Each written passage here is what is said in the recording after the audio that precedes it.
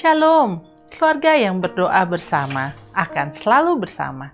Marilah kita mempererat hubungan keluarga kita dengan membaca buku Membina Keluarga Bahagia. Banyaklah cabang ilmu pengetahuan yang menyerap waktu para pelajar yang tidak penting bagi kegunaan atau kebahagiaan. Akan tetapi, sangatlah penting bagi setiap pemuda untuk mempunyai keterampilan yang mendalam tentang tugas kewajiban sehari-hari.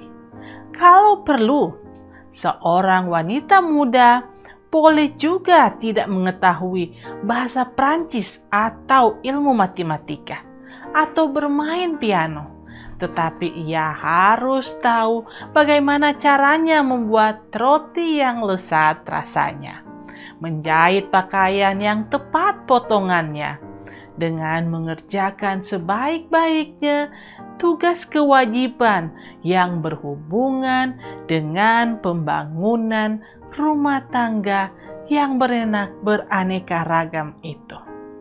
Untuk kesehatan dan kebahagiaan seluruh keluarga, tiada keahlian yang lebih penting dari keahlian memasak. Dengan makanan yang tidak enak dan yang tidak bermanfaat, ia, sang istri, menghalangi bahkan merusak perkembangan orang dewasa, dan pertumbuhan anak-anak, atau dengan menyediakan makanan yang disesuaikan dengan tubuh dan juga yang mendatangkan selera dan lesat rasanya.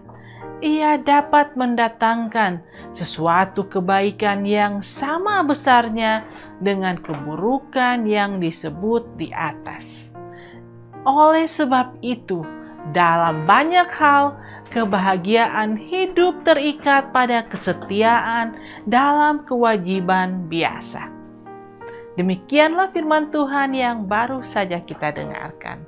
Salam dari Fishdeck Media Ministry. Tuhan memberkati.